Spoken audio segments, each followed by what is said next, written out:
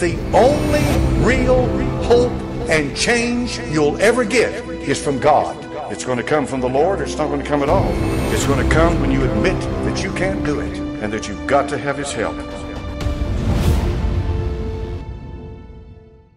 But a lot of people who are mature enough, old enough for not doing their due diligence to even attempt to obey the principles of the Father, that some sort, some sort of example would be shown to everybody else to bolster one's attention concerning God. You see an absolute removal of that. And in place of that, what you see are the elder folks fighting like cats and dogs, vicious, trying to save their old ideas. This is how the young see it. They're trying to save their old ideas that are dying out. They're not working. And meanwhile, they're self-destructing and taking everybody else with them. That does give Christians an opportunity. What you think about something? The older people say we have to reestablish this country as we had it before. The younger people say, hey, you, you did it your way. And all you do is end up fighting one another. We don't want that. We want something else. But the Christians should believe, should know, hey, this is an opportunity for us to step out on faith and represent the kingdom of God, to demonstrate what unity is, because they can't do it. They can't do it. Leadership, they cannot demonstrate what unity is. They can't. The Democrats are falling apart. The Republicans are falling apart. Everybody seems to be falling apart. They're communicating things to people. For example, many people right now in the news are upset, right? Certainly Biden should have built something with a wall, right? Truth is he can't. But hardly anybody knows that. They don't know the differences between presidential powers and congressional powers. They don't know that. So the public is demanding things of a, of a position that that position has no power to grant. You know what that does? It makes people angry. It's happening on both sides. It really is. Isn't that funny? Something that uh, we should have done a long time ago, to be truthful. Because none of you would leave your front door open, windows wide open, and go to sleep and rest peacefully. You lock your front doors, right? Everybody locks their front doors. But the fact is, no president has authority to do that. Congress does. Now, Congress, they sit up there. Well, people don't know that. What are they doing? What are they doing? You don't know what they're doing, do you? You don't know. The thing that gets me is they allow someone to take the blame without saying anything. What congressman ever came to the microphone and said, hey guys, a president does not have individual powers. That seat does not have powers to do that. Nobody has said that. Why won't they do that? I'll tell you why. Because all this drama and everything else you see, they're counting on it. It's just drawing people in to what you see happening in order to install into this world what they have always desired to install. You need to have a large group of people believe that leadership and government in the ways of old have totally failed. Thus, you install something brand new. Sounds like the Beast Kingdom, doesn't it? Right now, people don't believe in the old system. You have some people that come out and say, hey, we need to teach patriotism from youth. But that's going to be fought tooth and nail. Simple, truthful history will do that. The problem is we have invited many ideologies into this country, and the majority has now changed. It is very different. You have people, divisive people on all sides, who will try to start by themselves from everything that's happening. Everything that's printed in mainstream media is not trusted by a lot of people. They have no power to change anything you do. You represent what's on the way. The world itself is collapsing. You guys represent the true change. Now, but I ask you this. How many of you, if you could, you would begin to involve yourself in that change? Or how many can't do that? In other words, what I'm saying is your life is so tied up right now, you can't do that. You can't do that. You put too much and everything at risk, and it's not really worth it because they won't hear you anyway. If you think you're by yourself in that thought, you're not. You're not by yourself. Lots of people like that. But a kingdom is coming something before her father's kingdom. Now, because I just talked to you about the western side of things, what about the other side? The side in the Middle East. Why in the world are they beginning to operate unified and we're operating under heavy division? Can you all see a, a upset in the balance of power? How things have become so corrupt. No waters are smooth. No. Yet the Middle East is beginning to unify. And the sand beast, well, he's on his way. And this, by the way, somebody said America's weak. Yeah, we are weakened in a. You know why we're weakened? We have not sown anything of truth with enthusiasm into most children. Children are raising themselves. How many of you know that already? They're raising themselves. Can they look to the news for a good example? No. What do they see? Not to be blunt with you guys, but how in the world on national television will they even allow name calling? Have we really dropped to that level? Because the rest of the world is looking at us, and they're going to take full advantage. It's unfortunate that we're not going to know any better until we're burning. We won't do anything until we're burning. Listen to me. I'll say it again. We're not going to do a thing until we're burning. We're going to have to burn first. We're going to have to be awakened. Right now, people have their own ideas, and they cannot hear anybody else's interjections. They're going to do what they want to do. They're going to do it their way, and they tell you every single day. Each group will tell you they are the best at what they do. But when you have one group who's good at doing one thing and another group who's good at doing the opposite, you're going to have a fight, a struggle. And what does our Father say? A house divided against itself. Can anybody finish that? Shall not stand. A house divided against itself shall not stand. Now that's different from everything else. Let me tell you why. If you say a house divided against itself will not stand, that means somehow it's not going to be strong enough, it's going to fall apart. If you say a house divided against itself cannot stand, that means it's not going to maintain enough strength to stay upright and eventually it's going to fall. But when you say a house divided against itself shall not stand, that is the decree from the Most High. That is his word against a divided house. My, my. I'll say it again. That's his word against a divided house. See, God is a God of unity. He does not like division. And a house divided against itself shall not stand. See, that's a declaration. And what's happening to us? Those of you in the U.S. and Germany and the U.K., what's happening to us? We're falling apart. And it's almost like nobody can put it back together. We're falling apart. Everybody has been trying, but it's falling. More and more it's falling. See, that means we're in a bit of trouble. But I'll tell you something. The moment a country who stood on the values of the Word of God, the moment they cast it away. Because see, we used to hold the value system of the living God. We did. People used to know the U.S. as those who had the Ten Commandments. It was so prominent that the Islamic folks who were building their forces back up and building everything back up, they used to write about that, about the USA. I find that to be amazing. They knew it. They knew we had the Ten Commandments posted in every state. We used to pray in school. We had prayer in school. We had the knowledge, the blessings. We did. We had it. We were the youngest country on earth who stood on the value system of the Lord. And we lost it. And now we are backing up from enemies all over the world. Our society is turned upside down.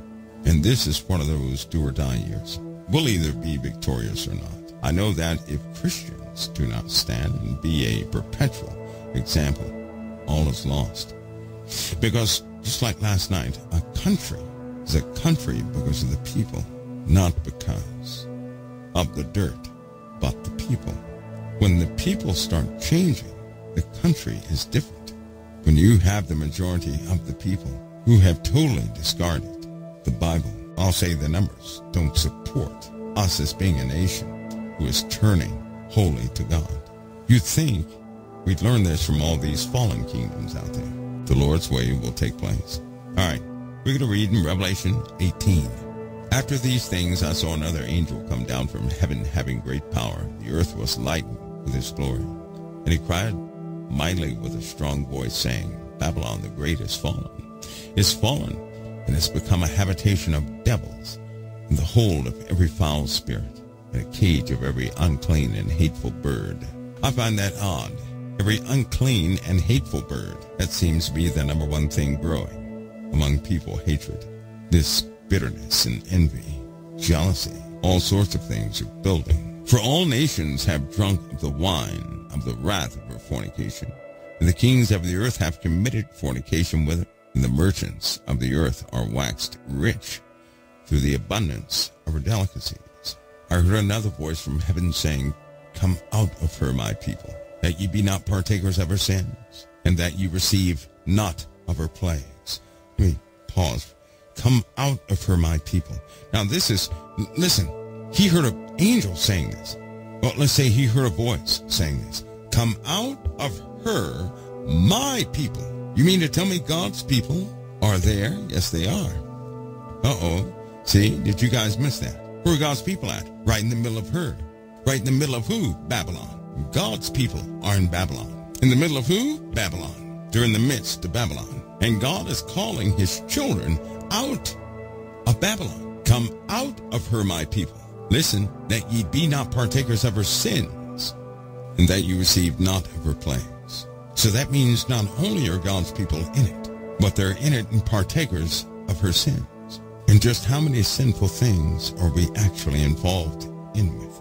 God says, love your enemy, correct? That's what he says. Who taught everybody to hate their enemy? Not your father. Uh-oh. Oops. Did I say that? Your father did not teach any of us. He didn't teach me. He didn't teach you how to hate your enemy. He didn't. No, he didn't. Who taught you that? Men did. Man taught you how to hate your enemies. Man did that, not your father. Your father said through Christ, love your enemies. But the, but the world, in the various ideologies of this world, what do they say? Hate your enemy. Hate your enemy. How do they see it? Do they just outright say hate your enemy? No. No. They point your attention to people and they say, hey, they're stealing everything you have. They're taking everything. This is all countries, not just the USA. This is all countries. Hey, they're corrupting your heritage. Hey, they're doing this. Hey, they're doing that. They blame, they pinpoint, they accuse. And if you believe their words over your fathers, you're going to feel just like they do. Thus, you're going to be a partaker of her sins. Is it a sin to know what the Father told us and not do it? You better believe it. That's called disobedience. God's people are found all over the earth. And if you're partaking of the sins of the place that you're in, you will partake of the plagues that come upon it. And no one will escape that. Let's continue. For her sins have reached unto heaven, and God hath remembered her iniquities. Reward her even as she has rewarded you, and double unto her a, double according to her works. In the cup which she hath filled, fill to her the double. So give her back double for she has messed up and corrupted. It's not going to be good for her, right? But who is the her thing? We learned last night there is no uncorrupted place on the face of this earth. It's not here yet. The New Jerusalem is not here yet. It is untainted, sinless. God is in the process of redeeming us and these lands, right? us and the collection of places. But, but, right now they're not holy. They're unholy. They do everything that's a, that's almost like a, a trademark of Lucifer himself.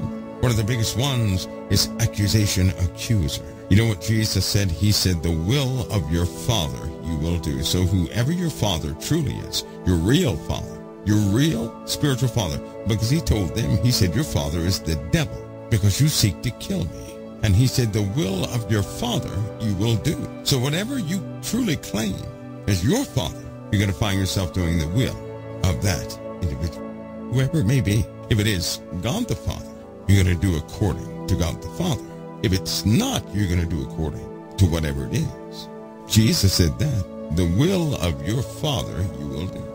We do that every day of our lives. Don't feel bad. It's an evaluation tool. It really is because your heart is not in evil. Here, here's the problem. You, you come from your Father. You believe in Christ. But the only thing you have seen, what's been proven to you, is the world. You grew up in the world. The world is your comfort. And God has to break that comfort or you'll never be free. That's the number one reason why we cannot have our comfort in this world. Because if we keep that comfort, it's going to cause us to trust in the things of this world more than those things of God. By conversation, you can hear people, they love the Lord, right? But when you look at your life, you know and I know that what the Lord spoke was true. Whatever we claim as our Father, we're doing the will of. Every day of your life, you do the will of something you believe in. Every day. So the question is, what is it you truly believe in? I know, I know, I know. That's one of those, uh, I don't want that one. Let's continue. It says, how much she hath glorified herself and lived deliciously. You guys remember the terms from last night? Did anybody highlight those portions of Ezekiel 16? Because you're going to hear those same descriptions again, again. How much she hath glorified herself and lived deliciously. That's almost a direct quote. And lived deliciously. So much torment and sorrow give her. For she saith in her heart, I sit a queen. I am no widow, and shall see no sorrow. Therefore shall her plagues come in one day, death and mourning and famine, and she shall be utterly burned with fire. For strong is the Lord God who judgeth her. Boy, that's a that that's right there. But listen, what I wanted to show you last night was the sinful part of the specific nation we discussed last night is just like Babylon. Babylon has the exact description of the fallen part of all nations. Do you all see that? That Babylon has traits of all the nations. And if you look in the book of Daniel, you'll find there are only four kingdoms. And all four kingdoms are Babylon in four different eras, four different blocks of time. Lord have mercy. Not just one place. A lot of people used to say, well, Babylon's America. Well, Babylon is the Babylon, Iraq. Well, Babylon is this. No, no, no, no. Babylon is the sinful portion of this world. The holy portion of this world is the kingdom of God. The sinful portion of this world and the kingship and the rule of man and everything else is Babylon. So that woman that sits atop the beast, who has mystery Babylon on her forehead, is very special. And what you're seeing in Revelation is her redemption above everybody else's. You better believe. See, because when the world is redeemed, it's going to become what? What's the name of the world in a redeemed state? Somebody. What's the name of the world in a redeemed state? It's not the fallen Jerusalem, and it's not Babylon, the kingdom of God. The world in a redeemed state is the kingdom of God. The world in a fallen state is Babylon. So what is the world when it fights against the living God? What state is that? The war state when they actually fight against the living God. When they fulfill their gathering together to fight the living God. What is that? That's their Gog Magog state right before judgment. Do you see that? We have a fallen state. What is our fallen state? We're going to read about that, our fallen, the fallen side of us, the fallen state, the fallen condition of us, God has already named. Oh, by the way, Satan can only use the fallen condition of you. He cannot use the redeemed portion in any way. Do you know that? Satan cannot use that. So if you walk in obedience, you cannot be used by Satan. When you walk in disobedience, you can. And the Bible says we were once children of disobedience, worthy of death. Didn't he say that? He did. The Lord, he came that we may have life, so that we could be redeemed and have that life more abundantly, so that your redemption process, beginning right here, right now, continues all the way to eternity and beyond, so that you would be fully redeemed. Here on this earth, in this physical realm, what you're witnessing is a process. You're seeing the sinful portion of all things being separated from the redeemed portions. You feel it in your own in your own minds, in your own hearts. Is there not a, a war inside of you? Even even those who are committed to Christ, there's still a war. There's still a war. There's still times where things rise up. It's a war. Let's continue. So her plagues, they come in one day, death, mourning, and famine. She shall be utterly burned with fire. For strong is the Lord God, who judges her. And the kings of the earth who have committed fornication and lived deliciously with her, stop, listen.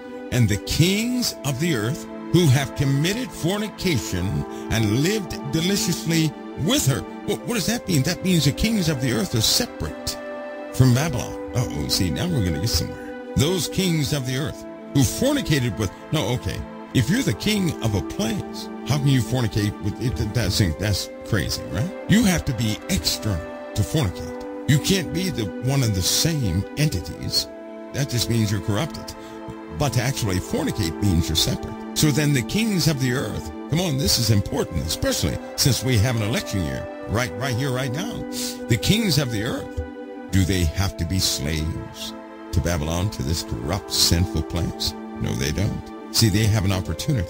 You cannot be a king without God's intervention these days. You can't do it. You have to have something on you to be a king in the first place or a president. And, uh, contrary to popular belief, you cannot be a president without the Father's intervention. They're given an opportunity because every time you see these guys go up before that podium, they can say the truthful thing of which nobody's going to like them, or they can lie so that everything can be easy for them. They've got to make a choice, don't they? You remember Jesus said, submit yourselves to earthly authority. Now, why would he ever say that, knowing that earthly authority is corrupted? Why would he ever say to any of us, submit yourselves to earthly authority? And even mention the governors and everything else. He even mentioned the magistrates and everything else. Why would he ever say that? Why would he ever say, submit yourselves to earthly authority, when that authority in the earth is highly corrupted? Why would he say that? Submit yourselves to earthly authority. Well, in the book of Daniel, we learned by King Nebuchadnezzar's issue that he had that God appoints kings. God does that. We saw God's intervention with King Nebuchadnezzar and Daniel. We saw how Daniel did not compromise. Thus, he was used as a vessel for King Nebuchadnezzar. But not only that, but to establish and free all of his people. We saw that until they rebelled, of course. They went right back into bondage. But we see the intervention. We also see a change in heart in King Nebuchadnezzar because of Daniel. Uh-oh, now, now we're getting somewhere. Because of Daniel, King Nebuchadnezzar had a change in heart. Because of Daniel, God began to work with King Nebuchadnezzar. Because of Daniel. Remember what he was doing? Throwing, what about Shadrach, Meshach, and Abednego? What about Baal? What about all these things that were happening in the earth? What about the, the, the almost a full decimation of those who would be appointed to be Israel at that time, God's holy people? They were absolutely being killed, great numbers. King Nebuchadnezzar, God intervened. He became king. He became king. And almost immediately, upon Daniel being appointed, the king was unsettled started having dreams. And if you look carefully in the book of Daniel, you'll see that what God did in King Nebuchadnezzar, you know what he did? He used King Nebuchadnezzar as a mechanism for the deliverance of his own people. Do you know that? Now, was King Nebuchadnezzar, was he a believer in God? Was he faithful? Was he honorable to God? No. He believed in the rule of law. That's what he believed in. Kings of the earth right now you're about to be appointed yet again. But you're just like Daniel. All the believers are just like Daniel. So let me ask you something. What's the difference between you all and Daniel? Is there a big difference? Anybody? Is there a big difference? Was he advantaged and maybe he could do things differently? What was the case? Is there a difference? Of course there is. You have Christ. He did not. And because you have Christ, and he did not, but he was still used as a vessel. You can do so much more. But it depends on what? What does it depend on? Your obedience. If Daniel were disobedient, and he was not, if he were disobedient, God would not have used him. God would have cut him off right there, Johnny, on the spot. They were still human beings, just like you and I, but they chose to obey the Lord. If we choose to obey the Lord, we're going to be used by the Father for the kings of this earth, kings, plural, of this earth. But we have to be in our positions. In fact, he already said he would do that. Here's the problem. The problem is, are we unified as Christians? I'll go ahead and say it. No, we're not. We're not unified. We allow things of flesh to get in between us being unified. We allow things of flesh to separate us from one another. We could be unified in the Word of God, but we're allowing ways of flesh to separate us. The apostles, they were unified. They did not see eye to eye on more than a few things, but they were one. Anyway, so the kings of the earth who have committed fornication and lived deliciously with her shall bewail her and lament her, for they shall see the smoke of her burning. That's the promise. You're going to see the smoke of her burning. So the kings of the earth, right? The kings of the earth who have committed fornication and lived deliciously with her shall bewail her. Now you know why they're bewailing her. To live deliciously with someone is to live by way of profit. They got exactly what they wanted out of her. The kings of the earth. Now, it didn't say the people of the earth. It's talking about the kings of the earth are going to bewail her. In other words, oh, no more of that. I won't be able to do that anymore. So here is telling you that the kings of the earth who committed fornication with her truly enjoyed the returns. They truly enjoyed the returns. To commit fornication in this context is to forego what you have in you naturally for the sake of something else. It's like having a husband or a wife. You forego your spouse for something else. And we all know what happens if you continue to do that. You're going to forsake your spouse. In this case, they did the same thing. Their fornication caused them to miss her when she was burning. One thing is for sure, she will burn. Oh, but God promised that all idols in all lands are going to go up in smoke, not one. The kings of the earth who have committed fornication and lived deliciously with her, prosperously, right? With her, they lived with her. They lived with her. You know, when you live with someone, that means you know the corruption of that person, know everything about them. If it's against our Father to mingle with that person, then that person is corrupt. Here it says, and the kings of the earth who have committed fornication and lived deliciously with her. So they liked it because of profit. Let me ask you guys something. What would happen if money were taken out of the system right now? No more money. What would change if there was no more money? If everybody lived a different life and there was no more money, and to be sustained only required standard work, you know, the work you do in the field, this, that, and the other, and there's no more money, nobody can run out and get money and be kinged because of money, what would happen? Well, let's go ahead and break it down. Let's, let's go ahead and break it down. Here, here's the problem. Here's the problem. I'm going to rush to this one. Here's the problem. A long time ago, the kings of the earth were not selected by how much money they had. They were not selected by being successful in a business, in a in, in something like or coming from some privileged family or something like that, or being in the you know, they weren't selected that way. They were raised to be kings. Do you know that? They were raised. Listen, when they were raised, we're talking about high discipline here. We are. Even King Nebuchadnezzar had to go through some junk. So that means, first of all, because of all of King King Nebuchadnezzar was like Saddam Hussein, Hitler, right? And all these different tyrants mixed in together. But what's the one thing reading in the book of Daniel, King Nebuchadnezzar never did? He never did what? Two things he never did. Anybody know what that was? Did King Nebuchadnezzar ever lie? No, he would not. Did King Nebuchadnezzar ever disobey the rule of law? No, he did not. That's called integrity. So you had these kings back then. He was a tyrant. He would, he would kill entire nations, bloodthirsty, and his decrees were finite. But he did not lie, and he did not go against the rule of law. He followed the rule of law, even to the point of his own exile or death, or his best friend's death. He had integrity. So when you are rotten like he was, by standards of holiness, he was far better than anybody on the face of the earth ruling a kingdom right now because he never lied and he followed the rule of law and he made everybody else follow the rule of law. Oh, and he was straightforward. He was transparent. He had no hidden agendas. He didn't do any of those things. So he was not deceitful, but he was a tyrant. He was one nasty guy. Did you guys see? Did you read about Napoleon? All these guys, I think he was probably one of the last ones. They were all the same way. They had high integrity. King Darius, did he lie? Nope. Did he follow the rule of law? Yes, he did. They had integrity. Let me ask you this. Name me any leader on earth in the last 20 years who does not lie. Name one. You can't. Somebody name me one leader that doesn't lie. Please, one, just one, just one. Who? You can't name one. Name me one leader who follows the rule of law to the letter. Name one. Good. Name one. Just one. One. You can't. So in today's world, we have people who are tyrants. We do.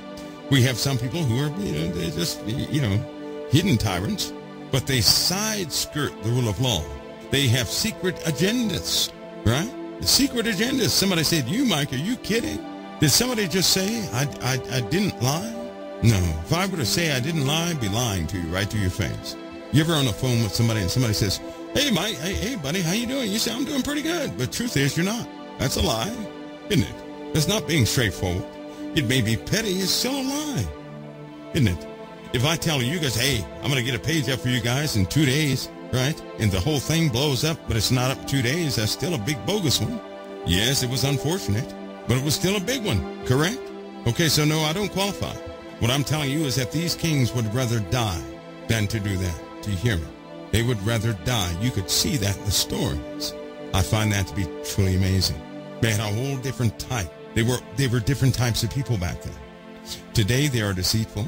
They'll say one thing and do another. King Nebuchadnezzar did not do that if he said something. Not only did he bind himself to it, but he bound everybody else by it. And everybody else knew it. If it was messed up, then it was messed up. But he would not. He would not sign script. You know when the Lord says there is none righteous, no, not one? there we go. I know it's hard for people to admit that they're not quite there yet. Listen, we'll be perfected when we're out of this flesh. Until then, we have to fight the good fight of faith and be highly thankful for Christ.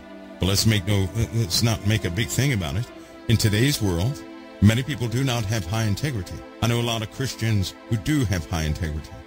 In fact, I can start naming them right off my hand, and I highly respect them because of how they keep the word, because of their own fight and personal integrity, because of their continuance with the word of the Lord. And I know that even without money, these guys will still continue to go forward despite what anybody thinks. My hat's off to them. But I fight tooth and nail, yes. I fight tooth and nail to go forward with the word of the Lord. I don't care who sees or don't see. I don't care if I get credit or not. I don't like credit, but I don't, you know, I'm going to still go forward for the Lord. But without Christ, I'm doomed. That's what I want you to know. And with these kings in this earth, boy, they're in trouble. Many of them, are, they're just in, they're troublesome. So we have established something. These kings of today lie. They side skirt the rule of law. They have plans of deceit everywhere. They have very low integrity. And here in Revelation, we're seeing it. They lived deliciously with her. Let's say prosperously. They lived prosperously with her. So long as they got something in return, they continued to put up with with whatever they were dealing with. In this case, that means, if just in case you didn't catch it, that means if it says, in the kings of the earth who have committed fornication and lived deliciously with her shall bewail her, then that means she is an entity on her own. Follow me close on this. The rule of law gave life to something beyond mankind. Leaders can come and go, but the rule of law remains. The idea of the rule of law remains. By the rule of law, people are appointed or not, but the rule of law remains. It just so happens that that rule of law in the earth is not by holy men. No, it's just by men. It's not from the living God. It's by men. And what they have done was they created something that will outlive them. So regardless of a, of a good king or a bad king, of a U.S. president, a Russian president, the rule of law remains. Haven't you noticed? And the rule of law is corrupted. And the rule of law allows corruption, doesn't it? and it has a life of its own because it can outlive all administrations.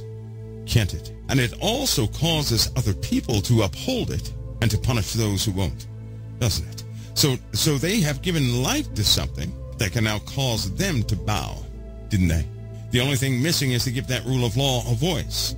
No wonder in the kingdom of the beast, when he gives life unto the image of the beast, that it would kill anybody that would not worship it. Punishment for not adhering to a law, the rule of law, a changed rule of law, a corrupted rule of law, something that demands, something that does not have to explain itself. Oh boy, that's a can of worms. And that rule of law is embedded in these kingdoms, and kings appointed over these kingdoms must adhere to that rule of law. Now, many of them have become fat because they know how to work and side skirt the rule of law. The rule of law, by the way, is corrupted. It is highly corrupted. And if you know all about the rule of law, like you're an attorney, a lawyer, prosecutor attorney, something like that, right? You know how to weave in and out of the rule of law. You know who knows what and who doesn't. Imagine that. Imagine the rule of law having a voice beyond the judges. There'll be no need for a judge to tell you that this rule of law stands in this case or not. It can do it itself. Then at that point, if anybody has an infraction with the rule of law, they're, they're toast.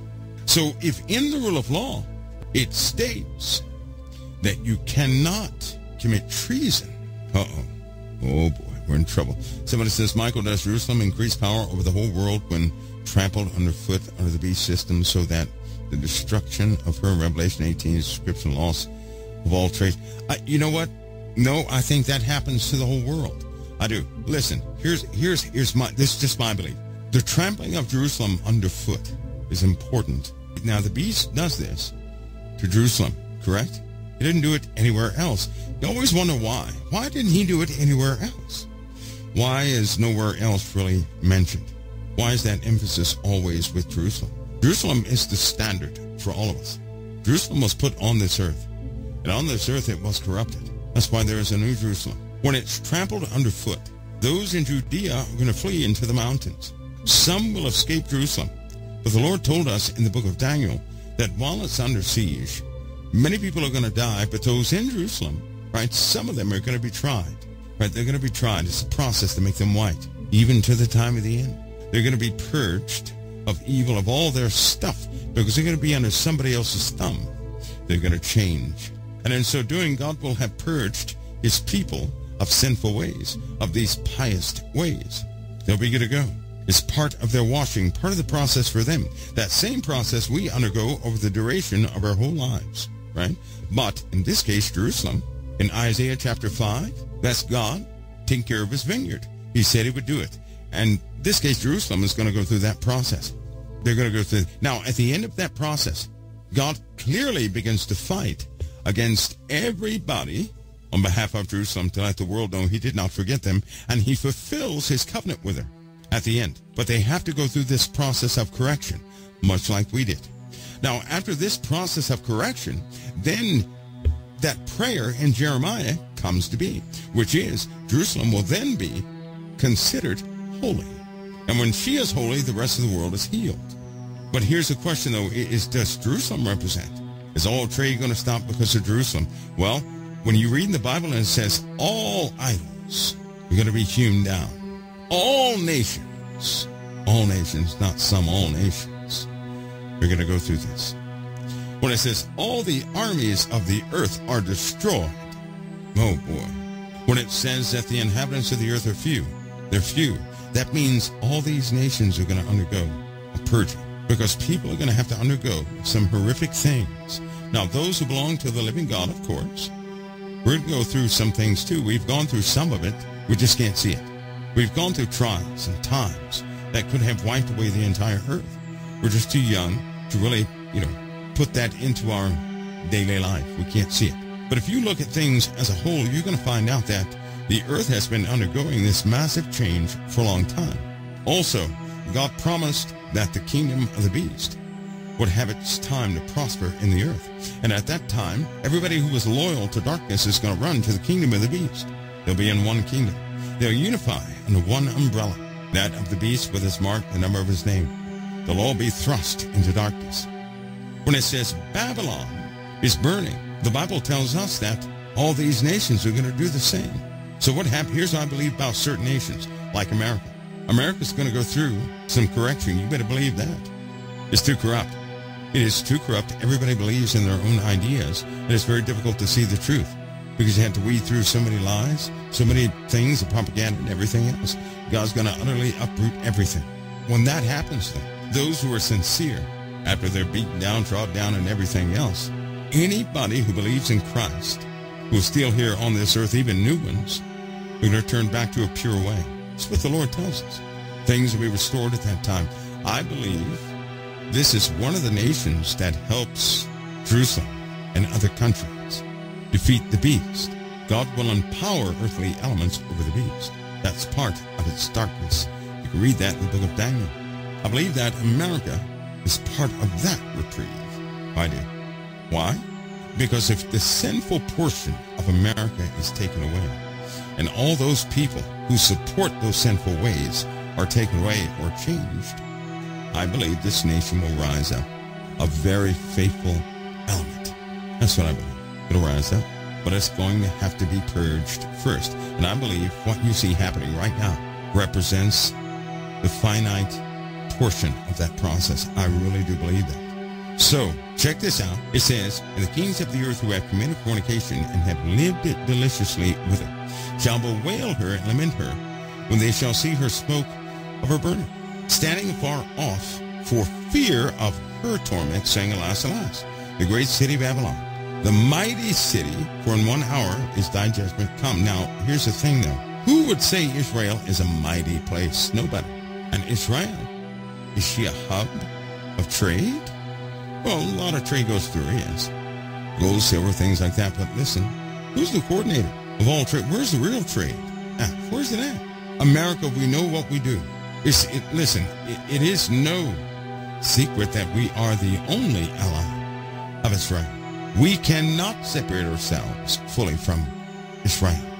And whatever Israel undergoes, you better believe we're going to have a piece of it. When this country is ablaze, then I can see people looking afar off saying, oh my goodness gracious, that mighty kingdom, the most powerful nation on planet Earth is on fire. I can see people saying we lost everything.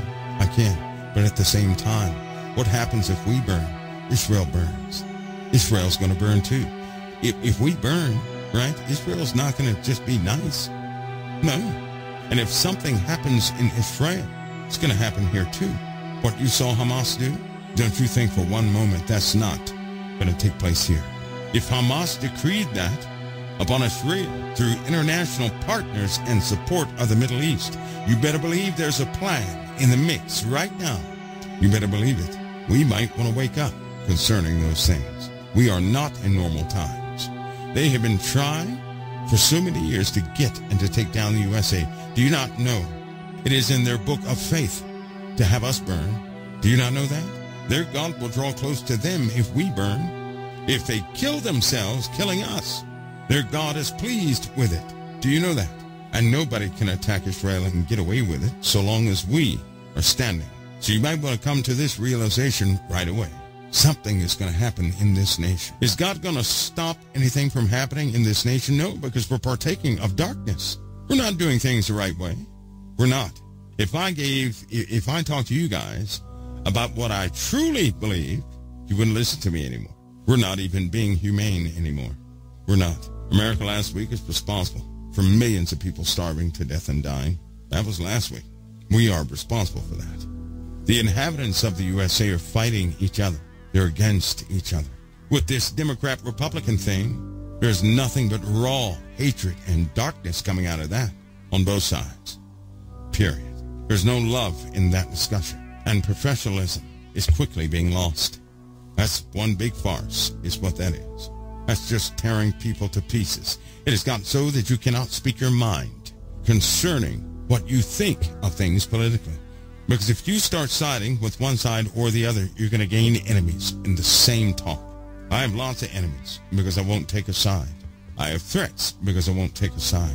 Well, Jimmy cracked corn on that. America is just like Israel, given a beautiful place. And what did we do? We did the same thing Israel did over and over again. Right now, we have so much grace and mercy and richness in this place, but men have become greedy and they do not care about their neighbor. They get nervous about their money. They get nervous about their status. And they're trying to point their finger at everything saying that's the cause, that's the cause, that's the cause. But they will not point at themselves saying, I am the cause. You know, in, in a family, when you're looking at everybody in your family, you say, wow, they got to change. No, no, no, no, no. If everybody has a problem in your family, then you better point to yourself and say you need to change. You better go look in the mirror and say you're the one that needs a change. We still don't get it sometimes. God did not put us in a paradise. You weren't born, in a vial. God took a piece of himself to create you. That's why you believe. And he put you right in the middle of darkness. That's where he puts all of his lights. To shine that light. But something awful is happening. The same lights God put in the middle of vast darkness they want to be just like the darkness. They want peace with the darkness. God didn't put you here to have peace with darkness. God put you here to destroy the darkness. Wherever light is, there can be no darkness. You know that, right? It's impossible for darkness and light to cohabitate. So, when the merchants of the earth, when they weep and mourn over her, this word her is more than, now we're talking about Babylon. We're not talking about mystery Babylon. We're talking about Babylon. There's a big difference between mystery Babylon and Babylon. Mystery Babylon is a place you would never think to, to, that's even like Babylon. That's what mystery implies hidden, just like the mystery of iniquity, hidden iniquity. That word directly translates into the word hidden. Hidden Babylon is when you have Babylon on the inside and it does not show on the outside. Obvious Babylon are the kingdoms of this world. It already said, God said, come out of her, my people. So guess what? God's people, you, me, we live in Babylon. The kings of the earth live with her. They're in her too. You, you starting to see those uh, descriptions? Her sins have reached unto heaven. Is that not the whole world? Is that not the entirety of the earth? And when the merchants of the earth behold all the nations ablaze, they're going to say it's over. Finally happened. That word, that, that alas, alas, that's when they say it finally happened. I knew it was going to happen. When, to say alas means you have a, you know it's going to happen. You don't know when it's going to happen. When you say alas, alas, the great city Babylon, the mighty city, for in one hour is thy judgment come. That's the whole world. That's when people are standing in the USA. It's when people are standing in Russia. It's when people are standing in China saying, I knew it was coming. And here it is. Finally heard that the time has come. Huh? Can you see that? Can you see people standing in the earth, period, saying we knew it was coming, but finally it's here. It's here. That when they say alas, alas, that means finally, finally it's here. That means you expected that to happen. You didn't know when it was going to happen. And they say it's here. The great city Babylon. Now we're talking about Babylon, so they're saying the great city Babylon. Of course, in the book of Daniel, Babylon is what? The entire earth. The, the great city Babylon. That mighty city, for in one hour is thy judgment come and the merchants of the earth shall weep and mourn over her. The merchants of the earth. Now, it's a known fact that all the merchants of the earth do not have deals with the USA. They don't. It's a known fact that all the merchants of the earth don't have deals with Israel. They don't. This says all the merchants of the earth. No exclusions, which means when it finally takes place, they're going to say, no more income from that. All business is ruined. It finally happened. It finally happened. See, because people suspect. You guys look for it every single day. You know something is going to take place. You just don't know when. And when it does happen, I can tell you this. People will say that very thing. It finally happened. It's going to be all over the earth. Let me, get, let me give you guys something real quick. You know in Revelation when it says, the sky departed as a scroll when it's rolled together? I remember looking at that and I heard somebody say one time, they said, well, that's a nuclear explosion, mushroom cloud. Plausible but just not quite it. Doesn't quite fit. I can see if they say, you know, it rolled together on all sides up to one point, that, that be it. But I don't see that. Now let me share something else with you guys. What other, what other thing, what other case, what other instance can cause the sky to separate like it's being rolled together? Not rolled apart, but rolled together. You ready? Listen, on water, you got a speedboat. When you're under the water, underneath the water, and you see a speedboat pass. The waves, the water separates by the waves rolling together. In the air, when the space shuttle program was alive, right, sometimes it was cloudy. And you can see the jet stream of the shuttle coming down into the atmosphere. Sometimes it would go through clouds. Something interesting happened. It would rip the clouds in half, rolling them together on both sides. Somebody says vortex vortices on both sides, aerodynamics, fluid dynamics 101. So, there's a bigger model of that. If a body in space were to skim our atmosphere, and when I say skim, not touch the Earth, but to come in proximity that it would affect the pressure greatly of the upper atmospheres, guess what would happen? You would see a blackness as the sky departed and the clouds got caught in horizontal vortices as it passed that's what you would see. You would see the sky open up, and it would look just like somebody's rolling together scrolls. and it will leave nothing but blackness in its wake. And you know what? We're on schedule for that. We're on schedule for that. There's no doubt in my mind. That's exactly what we're going to have. That'll help you out a little bit. Because I'm telling you again, what's happening here, when the merchants of the earth are going to weep and mourn over her, for no man buyeth their merchandise anymore. Let me read that again.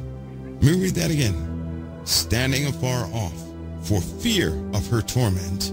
That means getting away from everything. That's exactly what a person would do. Saying, Alas, alas, that great city Babylon, the mighty city, for in one hour is thy judgment come. And the merchants of the earth shall weep and mourn over her, for no man buyeth their merchandise anymore. Oh, whose merchandise? Whose merchandise are they not going to buy anymore? The merchants of the earth. Let me read that one more time. It's right here in front of you. Revelation 18:11. And the merchants of the earth shall weep and mourn over her, for no man buyeth their merchandise anymore. Whose merchandise? The merchants of the earth. No merchants of the earth are going to have merchandise anymore. This is a global event. Let's continue. The merchandise of gold and silver and precious stones and pearls and fine linen, and purple and silk, scarlet, and all thine wood and manner of vessels, and ivory and all manner of vessels, and most precious wood and brass and iron and marble, and cinnamon and odors and ointments and frankincense and wine and oil and flour and wheat and beasts and sheep and horses and chariots and slaves and souls of men. That's everything. Everything is over. And the merchants of these things, this one, and the fruits of the and the fruits that thy soul hath after departed from thee, and all the things which were dainty and goodly are departed from thee. And thou shalt find them no more at all. Now, if you can't find something no more at all, it didn't designate say no more at all in that place. It said no more at all. That's period. You're not going to find this stuff period again. It's over. It's over. It's done for. Sayonara. It's finished. The whole earth is going to endure this. You remember what da- Babylon, what uh, Daniel said? Before the final kingdom, before that, everything is going to be destroyed. All the ways of the earth are going to be put down. No one will keep their ways in the earth. No one. Remember in the book of Isaiah, it said the earth is in ruin? Remember that? You guys remember that? Watch this then. Continue. On one hour, so great riches is come to naught or nothing. And every shipmaster and all the company in ships and sailors and as many as trade by sea stood afar off. No wonder the safe place to be would be on the water in a boat. If something global like this happened that would truly affect all the land masses, they're going to be burning on fire. They are. That could be part of the meteor storm. That's a seven-year storm, and that's not a joke. That means big rocks from space slamming into the ground for about a seven-year period, seven to eight-year period. That's a long time, isn't it? You should know nothing's going to survive that. It's going to start too many fires. And everybody should know how deadly fires truly are. Can you imagine that all over the face of the earth? This meteor storm is not going to pass through and it's gone. No, it's a seven-year storm. Listen, the optics see this storm as being so far out there you can't even track you, you can they can only track about I believe it was three quarters of the bulk of the storm and it still comes behind it. So that means there's a lot of debris that we're going to pass through. See, think of the think of the rings or the arms around the galaxy, right? And our solar system is going to pass through a very dusty part of that. Well, that dust happens to be rocks, and we're headed right for it. And we're going to pass through that arm. It is two million miles wide. We're not going to miss it. That's the width of it.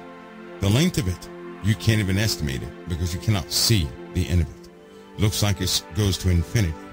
But it's an arm, right? It has curvature. That's why nobody can see past that point.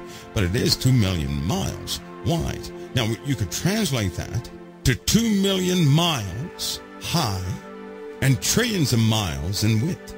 We're not going to dodge a 2 million mile uh, uh, uh, wave of rocks that in depth will last about seven years. That's not going to happen. Why is it going to last seven years? Because it's almost webbed as it goes around this galaxy. By the way, going around the galaxy, we go up and down and up and down and all around. That's what we do. We go up and down and up and down. We oscillate. Plus or minus. So many past that perfect point. We go up and down and up and down all the way around. We're going to smack into stuff. We're going to be in a place we've not been in before. Plus, we already have something touching our galaxy. That's what they need to share with everybody. something is touching our galaxy. It is not going to be good. It's not going to be good, but it's coming. Let's continue. So it says, from one hour so great a riches has come to nothing, and every shipmaster and all the company and ships and sailors and as many as trade by sea stood far off and cried when they saw the smoke of her burning, saying, What city is like unto this great city? By the way, look up that word city, please, and you'll find it's not the city you were thinking about. Look up that word city and you will understand it. The Greeks used, they were, they were extremely, they put everything in categories, right? A city is never a city, not in this context, if it's empty. You're looking at inhabited land masses. These have to be inhabited places for it to be this type city. Now, they did get the Bible to us, but in a lot of cases they condensed the language. You can now go back and look and see exactly what they were talking about. Just be careful not to add what you think is in there. Add it in there according to context like the Greek language is structured, and you'll begin to find it. Let's continue. They cried when they saw the smoke a burning, saying, What city is like unto this great city? Or, that's just like us saying, whose time is like our time. Who could build a, we use that word world like they use city. Oh, this is a beautiful world. And we use that word world to describe what we have done. We say we have built a beautiful place. What are we talking about? The world. We're not talking about somebody's backyard.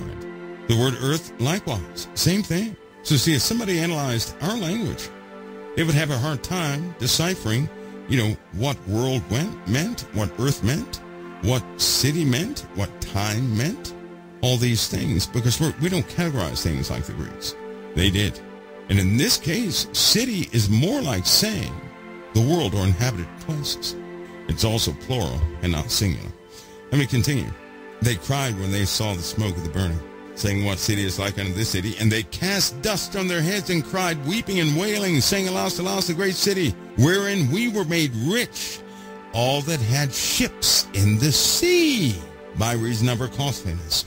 All that had ships in the sea, not some, all that had ships in the sea. So what are we talking about here? It's like the land masses are highly damaged.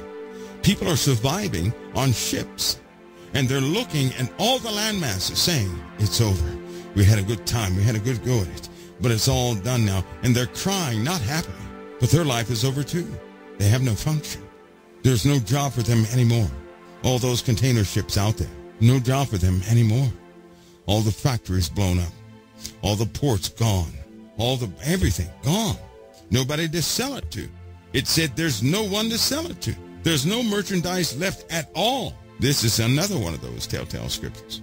And listen, and they cast dust on their heads and cried, weeping and wailing, saying, Alas, alas, the great city wherein we were made rich, all that had ships in the sea, by reason of her costliness for in one hour is she made desolate. Rejoice over her, thou heaven, and ye holy apostles and prophets, for God hath avenged you on her. There it is. God hath avenged you on her. In her was found the blood of the prophets and of the saints. We read that in Revelation, what? 16. In who was found the blood of the prophets? The sinners of this world. The sinners of this world killed the prophets in the Old Testament, things started out as a place. In the New Testament, they became what they were prophesied to be. I'll say it again. Babylon, in the book of Daniel, Babylon, that dream of King Nebuchadnezzar, he saw four kingdoms. He was the head of gold in the first kingdom. Another king was inferior to him, and yet another. And the fourth kingdom was partly strong and partly weak, iron and miry clay. Those are four kingdoms. King Nebuchadnezzar had dominion over all the earth. So did the fourth kingdom of the whole world it had in. It was, it was the whole earth. The final kingdom is the everlasting kingdom. The final kingdom is coming. The final kingdom will have rule over all the earth. Until that time, until the final kingdom is here, King Nebuchadnezzar was the standard, the head of gold, and he had rule over all the earth. Then the other inferior kingdoms came, but they still had rule over all the earth. It specifically states they had rule over all the earth. Now, when we're talking about a kingdom, all these nations, right? Think of them as a kingdom, one kingdom. The kingdom before the everlasting kingdom. Think of all of them as one kingdom. The world and people of the earth, by their translation, they see it as many different kingdoms. We got to be careful not to let the world decipher the word of God for us. Can't do that Because Jesus said in the Gospel of Luke that the world does not have the truth. We got to be careful not to let the world, they can't decipher this word for us. They can't discern this word for us. They can't interpret this word for us. That must be spiritual was not done at all. In the Bible, it says the word must be discerned spiritually, understood spiritually. If it's going to be understood spiritually, it's going to be understood by the truth of the Holy Spirit and the Holy Spirit alone, not by flesh, not by reasoning, not by any of those things, but by the Spirit, that is the Holy Spirit. God wants us to have the truth, the one truth. The truth of God is one truth, not 12. It's one truth. That's why I don't care about my own opinion and what I think and this, that, and the other. I want the Lord's truth, not my own. That's why I make a distinction. I'll say, I'll tell you what I think, but that's just what I think. You can throw that in the garbage can. The Lord wants us to know the truth. He didn't want us to know what I think, what I have deduced. Who cares what I think and what I've deduced? And we can have that truth. We can have that truth, but it does not come by these carnal faculties we're born with. It won't come that way. And the world certainly does not have it. So listen, when you start talking about kingdoms, don't let the world define what a kingdom is for you. They don't know. That's why these common words, the world says they're true, but something in your spirit says that's not it. You ever have that? I have that all the time. That's not it. That's incomplete. That's not the truth. And whenever I get something like that, that's why I can only tell you what I think. I'm not going to sit here and tell you what God's truth is because I think it's his truth. No. When I have God's truth, I'm going to know it everywhere in my body and everywhere else. When you have God's truth, you don't ju- you don't say it, you live it. It becomes a part of you. You can't separate from it. Now let's continue. These folk cast dust on their heads because their life was over. And then it says, it says after this, they cried, weeping and wailing, saying, Alas, alas, great city, wherein we were made rich, all that had ships in the sea by reason of her costliness, for in one hour she has been made desolate. Rejoice over her, thou heaven. Now let me, let me give you this. What was promised to be destroyed in one hour. God already said it. God said, I'll do it in one hour. Let me paraphrase. This will make you hunt. God will destroy all the idols of this earth in one hour. In one hour, he'll destroy every idol in this earth. Write that down. Every idol he'll destroy in this earth in one hour. That'll make you do your homework. And when you find it, you'll be blessed. That's going to open up a lot for you because it goes a lot further than that. But God will destroy every idol on the face of this earth in one hour. One hour. He's going to do away with every single one in one hour. He said the whole earth was filled with them. He's going to destroy them in one hour. Let's continue. Rejoice over her, thou heaven, and ye holy apostles and prophets, for God hath avenged you on her. Now there's something you see here. In God's vengeance, you start seeing the same declarations he made unto Jerusalem. You do. In God's vengeance, you start to see some of the same declarations he made to Babylon. He's telling you more and more about the fallen state and the redeemed state of the exact same place. We see the Lord doing something here. He's only going to destroy the sinful part. That's it. That's all God's doing here. He's only going to destroy the sinful part. He will never harm the righteous part. That's what you see happening. God destroying the sinful part. Right here, there's an emphasis on the merchants of this world and all the fine merchandise because let's go ahead and face it. People try to get rich and they will kill you doing it. Families separate over the jealousy of money and power. Greed, all sorts of stuff is born of that. And this dumb competition but in the world, competition is necessary or the money system falls apart. You know that, don't you? It's called capitalism. It is necessary or the money system falls apart. So what man did was develop a flawed system. And competition is an intimate part of it. That means someone has to suffer in order for someone to be victorious. Listen to me. Every time Satan influences anybody to construct anything, it will cost lives to prosper in it. God does not work that way. When the Lord builds something, it is clean and all prosper. When Satan builds something, you have to give your fellow man the beat down to be comfy. He requires that you murder. According to the word of God, you're going to have to murder to make it in his kingdoms in that stuff he's built. You'll have to live like Sodom and Gomorrah to make it. What motivates half these people to get up? More money. And when they get more money, they buy more stuff so they can make more money. It's a trap. They stay tied up like that all their lives and then they die. Somebody else takes up the same thing and they go living with it. So in essence, the world lives with an idea and they pursue that idea with the backing of money because money is instant power makes them believe that the whole dream is real, but it's not. If somebody handed you a million dollars, you're empowered in the world. That is proof to you that you can be instantly empowered. And so you will begin to chase that too if you didn't belong to the living God. You would say, ooh, I have to be empowered even more. And that's what wakes the world up, to be empowered. The Lord's children should never operate that way. We started out that way. We are not to continue that way. Somebody said one day, they said, uh, yeah, it's rough because you need money. Yes, you do. To live in this world, to live in Satan's kingdoms, you need money. If these were God's kingdoms, you would not need it at all. Let me give you another example. Before somebody says, well, you really don't need money if you can trust God enough. Okay, well, you really don't need food either, do you? You can be supernaturally sustained. You don't need food or water, do you? Wrong, because God put you here in a physical form. To do what? To affect the place you're in. He put you right in the middle of darkness to partake of what they partake of. To do what? To destroy the works of darkness. You were born in the enemy's camp. This is not your home, but you are among the enemy. And the Lord said, what? Love your enemy. Oh, man. How, how much did he have to describe what he did? He stuck you right in the middle of darkness in a place called Babylon. Now, let me highlight something. Somebody asked, they said, how does the woman ride the beast? Show me in the Bible where the woman rides the beast. Can anybody show me where the woman is riding the beast? Anybody. If I'm not mistaken, that's artwork, right? Just artwork. It's a people interpretation.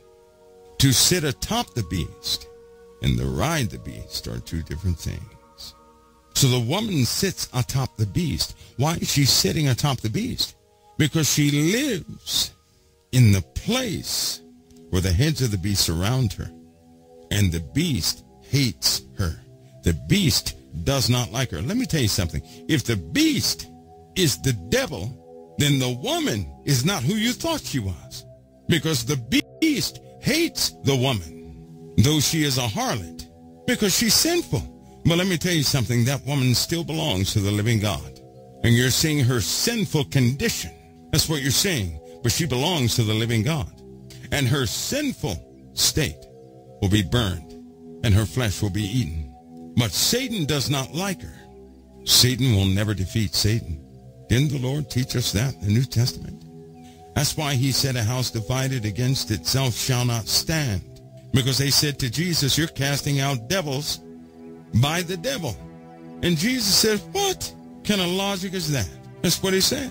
So let me further emphasize this to you. The woman is found.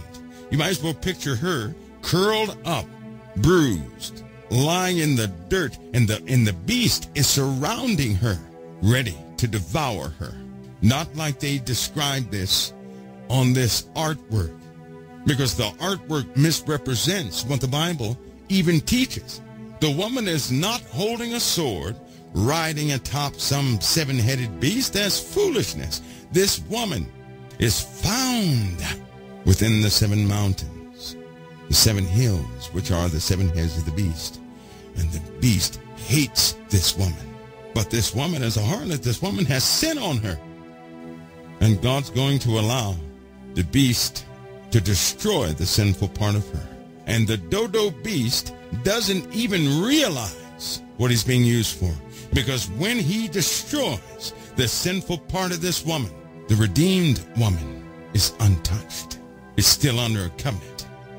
Will never be, she'll never be touched by uncleanness, and she will descend from the heavens to earth. Satan has no idea what he's doing, but you can. You just can't believe by the world's interpretation. The Lord has an everlasting covenant with Israel. Read Ezekiel 16, and despite her rebukes, despite the disgusting descriptions, despite what she did, the Lord God says, he'll deal with her as she has done. But he said, nevertheless, I will remember my covenant with thee in the days of thy youth, and I will establish thee an everlasting covenant. He'll not forget her. He never will. And he will restore her. Because you can read again in the Bible when Jesus shows up, they'll say what? Who put these holes in your hands? And he'll say, my friends did this to me. See, they still didn't know him. But the Lord embraced him. And he said at that time, they will be his people and he will be their God. So if he's going to be their God at that time, that's when they recognize him as such. Which means right now they're having issues with it because they were made blind so that we could make it in.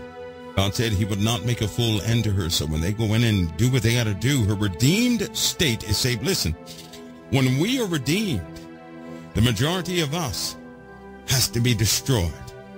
We're given a born-again spirit, which is small, not big, and then it grows as we search out the living God.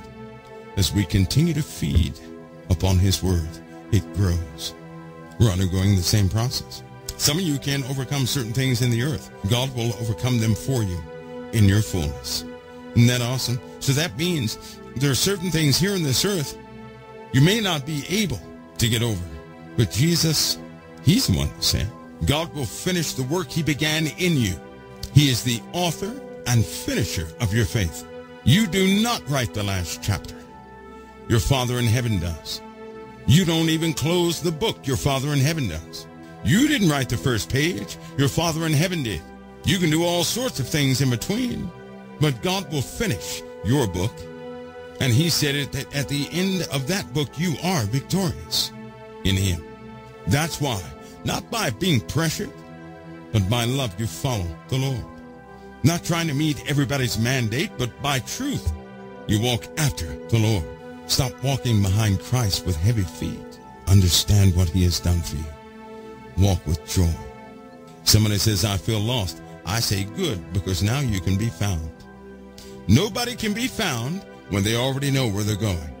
Now, can they? It's only when we get lost that we say, I don't know what I'm doing. Somebody help. And the Lord can actually help. He cannot help when your strength is high. He can't do that. That's why the Bible says, in your weakness, his strength is made perfect. Why? Because in your weakness, you won't interfere. Because in your weakness, you stop come, trying to come up with all these. I, well, I did. I, I didn't have any more harebrained ideas. And I was guided. And when you're guided, that's when you experience God's perfectness. That's when his strength overcomes all. And you don't even know how. That's when you find yourself out of your trial just like when they got into the storm. See, a lot of people don't know this part either. When they were in that boat in the storm, right? Do you not know after he fed all those people, when they were in that boat, how did they get to the other side? Did they just row over there? No. They found themselves on the other side. They didn't even perceive they were at the other side. The boat went boom, and they were right there. And the people on the other side said, how in the world did y'all get here so quickly? You see, the Lord finished. He fin- They were in the middle of a trial, in the middle of a storm. And before they knew it, they were already on the other side, which everybody said was impossible. Nobody understood how they could have gotten there so fast. What is that an example of? When you're in that crisis, that storm, when you have no more ideas because they were afraid. And the Lord said, don't be afraid. I'm with you. They were afraid. When they relented, when they ran out of ideas, when the sails were not doing right and the rudder broke, they couldn't even steer. Guess who brought them to the other side? The Lord. He does it every single time.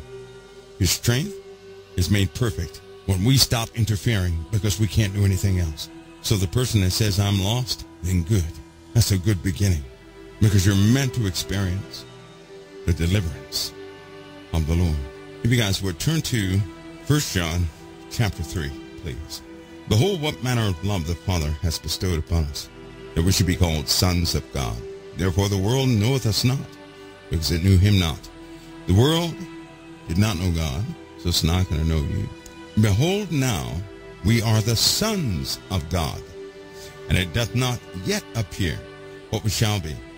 But we know that when he shall appear, we shall be like him, for we shall see him as he is. And every man that hath this hope in him purifieth himself, even as he is pure.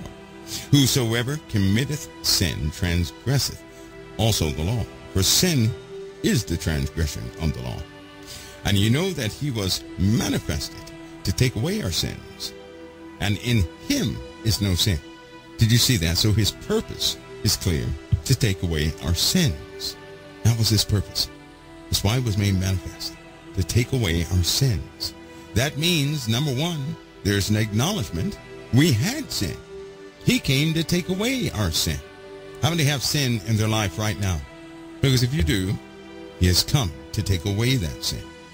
If any one of us say we have not sinned, well, we're not truthful. God is doing a work here through Christ. And Jesus is that element of work that is removing sin from us. Now take note, it didn't say he came, obliterated sin, it's all over, that's it. But no, that's not it. He came, this is a process. He came to take away our sins, and in him is no sin. Listen, whosoever abideth in him sinneth not. Whosoever sinneth hath not seen him, neither know him. That's pretty heavy, huh? Whosoever abideth in him, stays in him, they don't sin. So what is our problem? We don't stay in him. That's our problem. But before you go and do this self-condemnation thing, he already knew that, which is why he teaches and encourages. He already knew that. All that's being worked out. Little children, let no man deceive you. He that doeth righteousness is righteous, even as he is righteous. He that committeth sin is of the devil, for the devil sinneth from the beginning. For this purpose the Son of God was manifested, that he might destroy the works of the devil. Now, if anybody asks you, why did Jesus come? To destroy the works of the devil and to remove sin from us. Whosoever is born of God doth not commit sin, for his seed remaineth in him, and he cannot sin because he is born of God. In this, the children of God are made manifest. Now that's a process. To be made manifest is a process. And so here's what happens. You start out a scoundrel, full of ways you don't even know yet. You stay in the Lord. First you follow him. You seek to be in him more and more every single day. Finally, you step foot in the Lord. In that moment, you have no desire for sin. And as Paul said, if you do sin, it is no longer you that sin, but the flesh. In other words, you have no desire for it. So how can you have no desire for sin, and you yourselves are not engaged in sin, but yet you may have sin? How does that happen? If I were to step into a place and, and possibly conversate with the wrong person and the wrong point is taken, many would see that as a sinful thing, but you didn't try it. It was not your intention. You did not do that. Just came out that way. So you're good to go. Let's say, for example, that you're talking with a person they take it the wrong way. They start crying because you highly offended them. You feel bad because you did so, but you did not intend to do that. It was taken that way. It's not the case. Let's say also you choose to do something terribly and sinful. Well, I'll tell you in that moment, guess what? You stepped out of Christ. You didn't stay in him.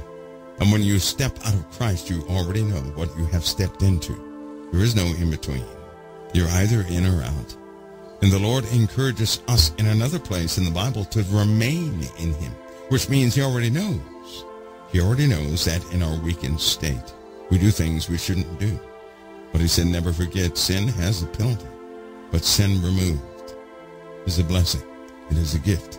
Better to have sin removed than to have the penalty of sin. For this is the message that ye have heard from the beginning, that we should love one another, not as Cain, who was of that wicked one, and slew his brother. Somebody asked us last night. Cain was of that wicked one. How so? By way of his spirit. He, he, he, was totally eaten up by flesh and worldly ways, doing things like the world, this, that, and the other.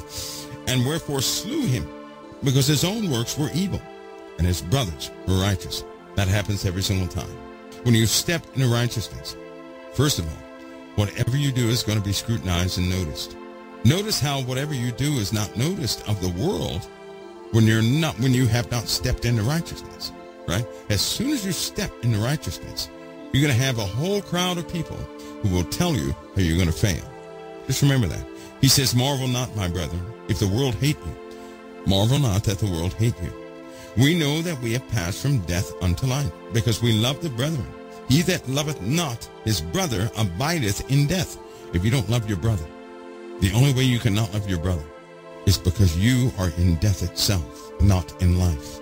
See, those who are in life itself, in the love of God, they hope for love and life for somebody else.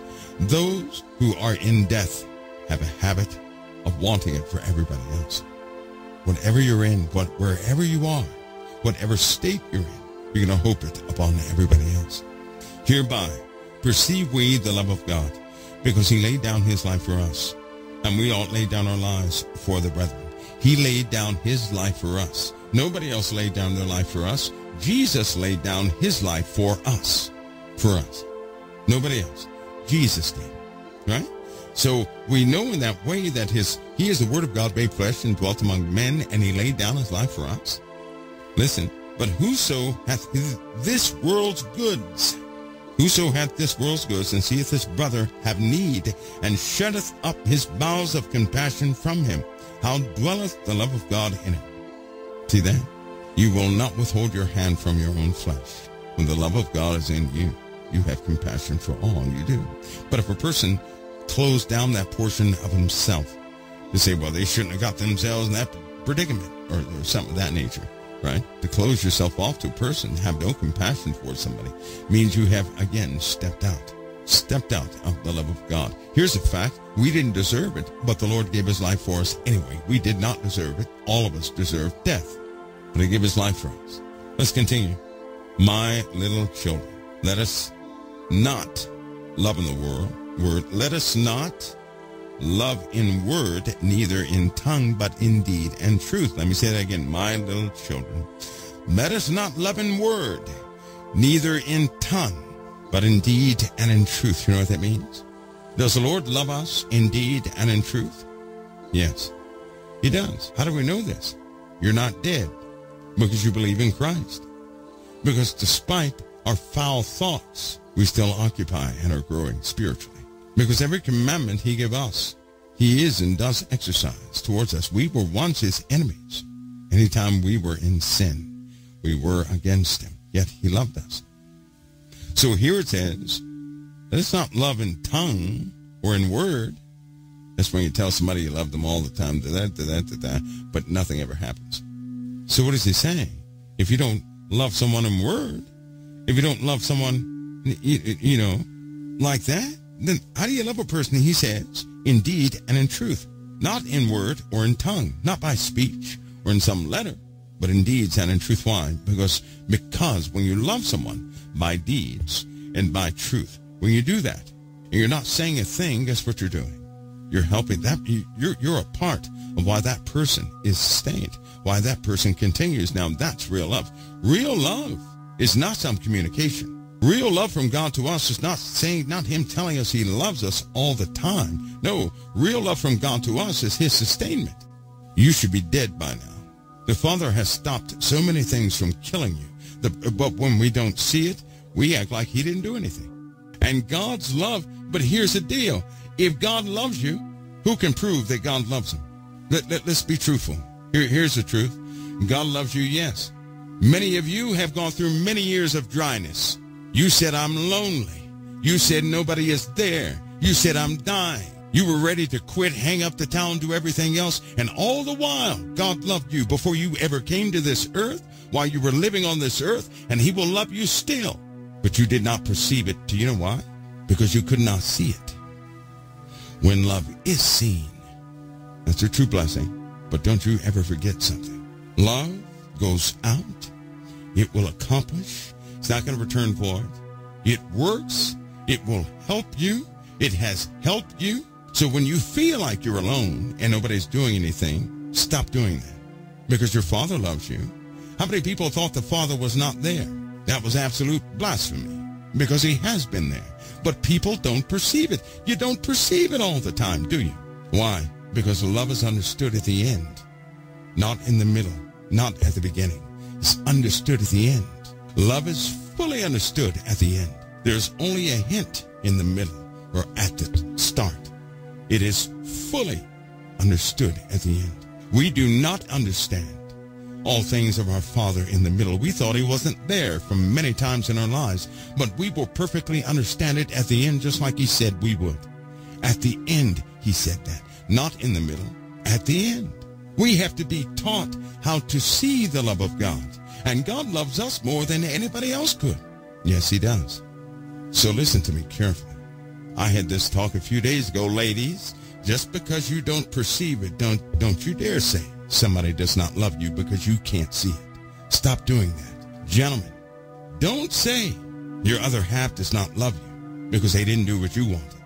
Stop doing that. Your father is the perfect example of love, and you cannot see his love, though his love is made manifest in seasons, isn't it? All of this is to say humanity does not know what love is. God is love. And for anybody to say they know what love is and they know exactly what God is, because God is love and it cannot be separated.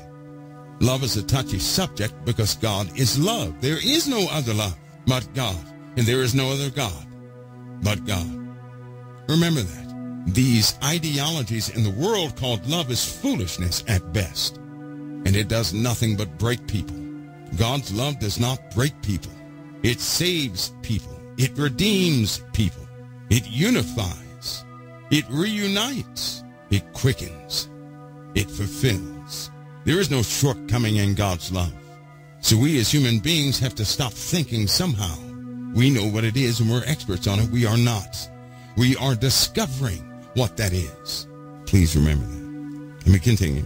My little children, let us not love in word, neither in tongue, but in deed and truth. And thereby we know that we are of the truth and shall assure our hearts before men. Did you guys hear that? My little children, let us not love in word, neither in tongue, but in deed and in truth. And hereby, when you love in deed and in truth, hereby we know that we are of the truth and shall assure our hearts before men.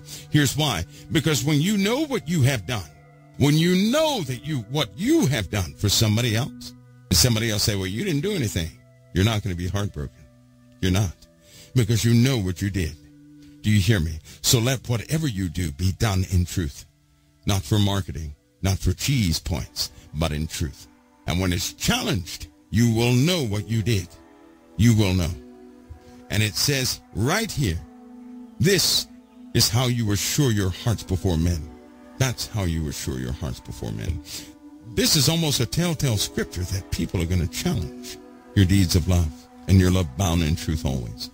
That's what it means. So when they do challenge it, when you have your love bound in deeds and in truth, your heart will not crumble when somebody says you didn't do anything. It's almost like around the holidays, right? If a kid wakes up and in truth you didn't get them a present, they say, well, you didn't get me a present, your heart's going to just crumble.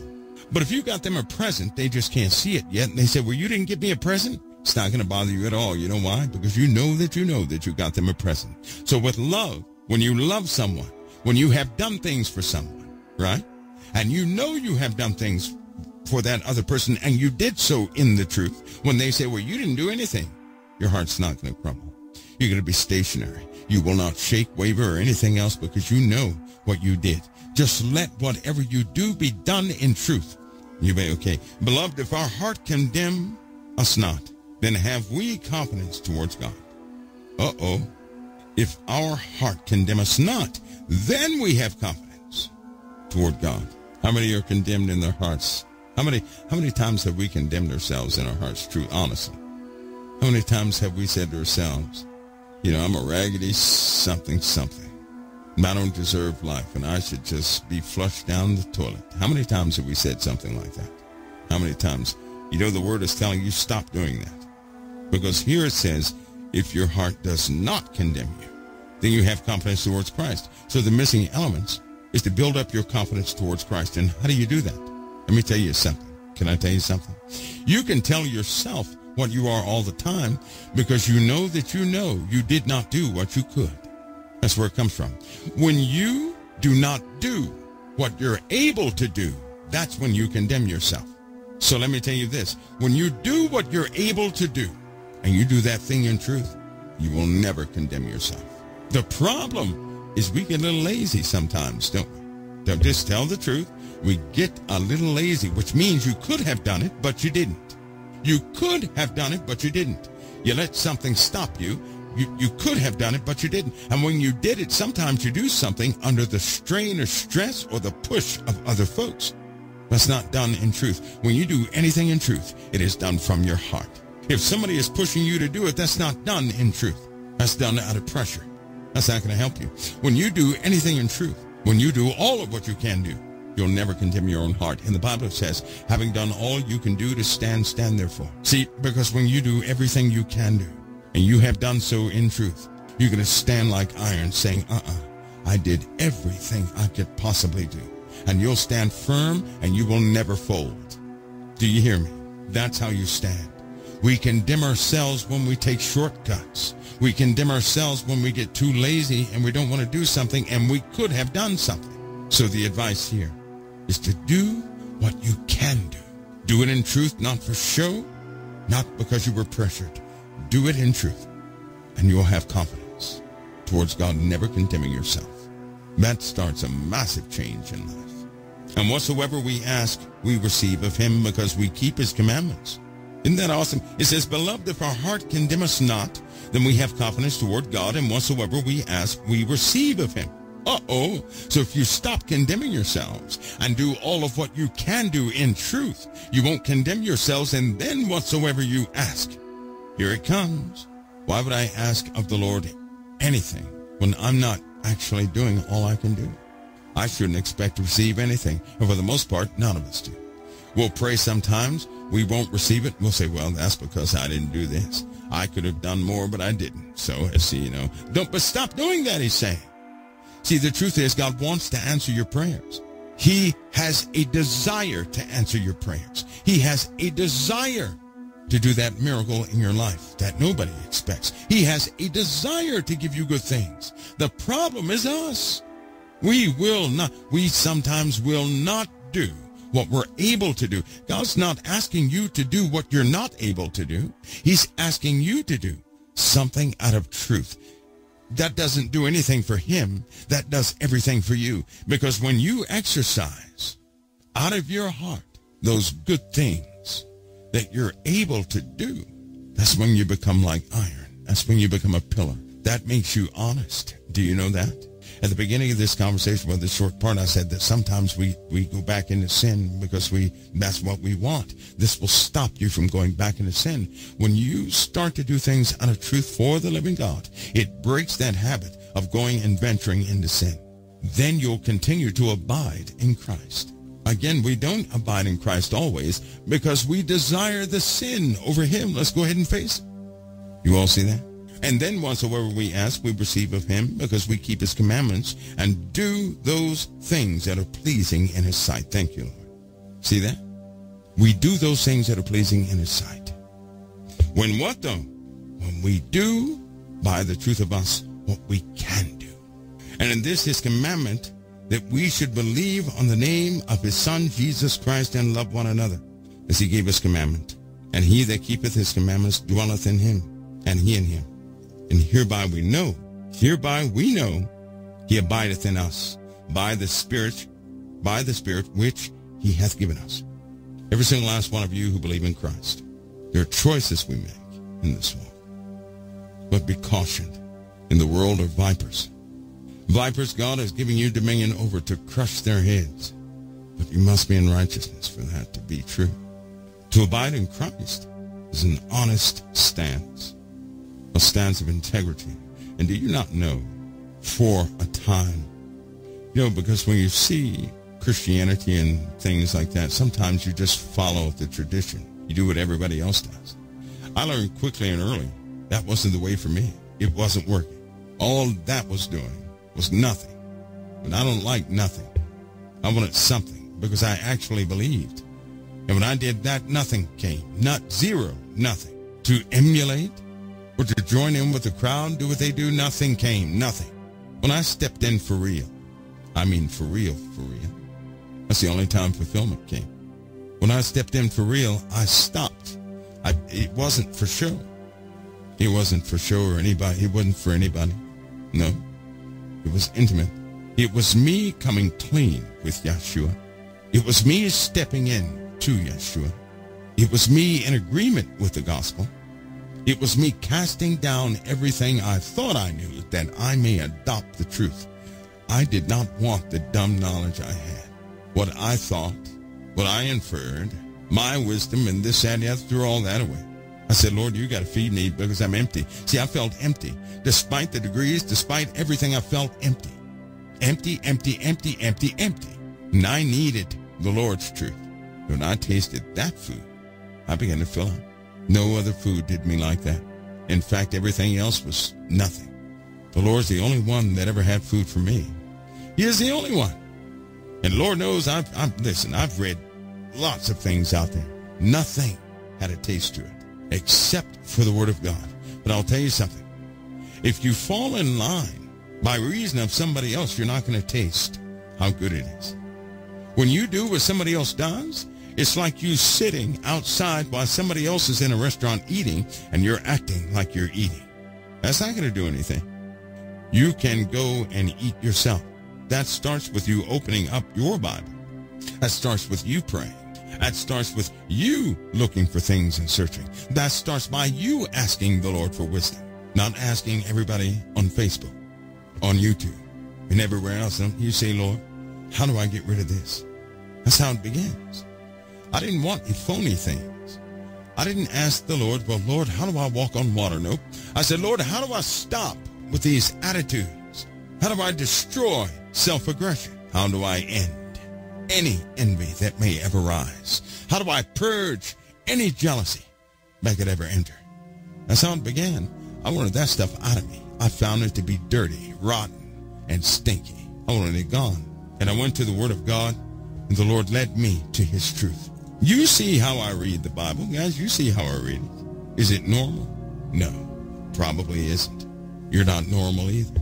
But you have to be you. You can't be somebody else. God sent you here to be you.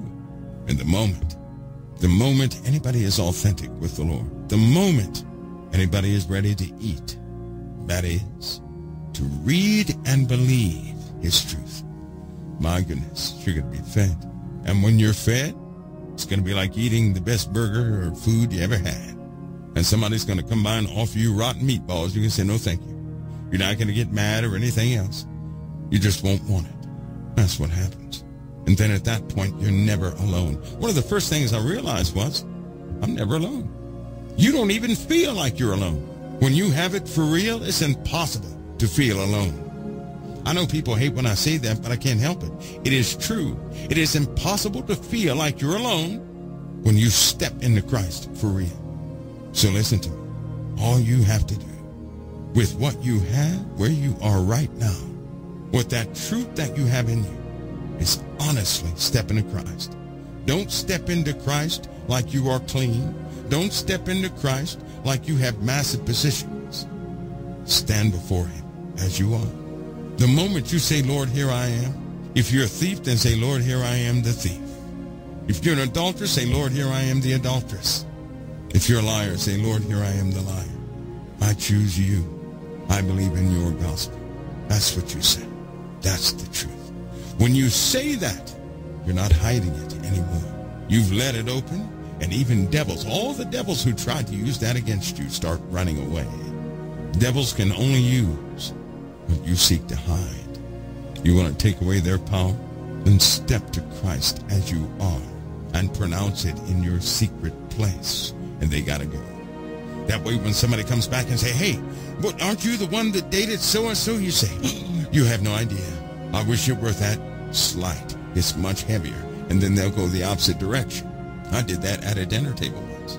Somebody challenged me. They said, well, Mike, didn't you so-and-so back then? I said, you have no idea.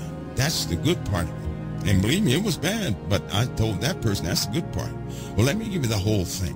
See, because your past becomes your story to salvation. When your past becomes your support for what the Lord did, devils run. Devils stick around to use your past as a weapon against you because they know you don't want anybody to hear it. But when it becomes your testimony, they've got to go. So when somebody brings up the past and they think they're going to get one over on you, say, oh, let me tell you all of it. You have the good part. Let me tell you the details. They have to run. When it becomes your testimony, they have to go because they have no weapon against you anymore. Those of you with your families, you know that to be true. You know that to be true. In the Bible it says, where the Spirit of the Lord is, there's liberty. You are meant to abide in that liberty. You can do that for real, but you must initiate it. All you have to do is step before him as you are. You already know who he is and how to get to him. But have you had that conversation with him? That truthful conversation.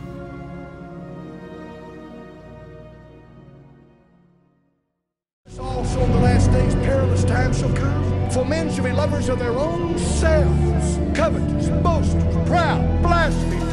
It takes the grace of God to change us, folks. How can you be saved if you're not willing to repent? And the Lord Jesus Christ said, except you repent, you shall all likewise perish.